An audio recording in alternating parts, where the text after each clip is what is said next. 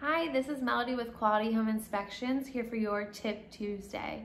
This week I'm talking about diffusers and essential oils, which are all things that I've seen people use recently. However, I don't think they understand that there is a concern if you do have pets at home. You know, sometimes the concentrated oils can actually cause an irritation to your pet's skin, as well as the smell can be too intense. There's a couple oils that are of concern, such as eucalyptus, tea tree, and peppermint oil.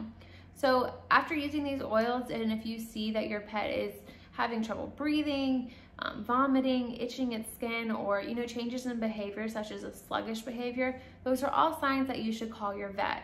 We definitely encourage you to call your vet if you've used essential oils in the past and you've seen this behavior.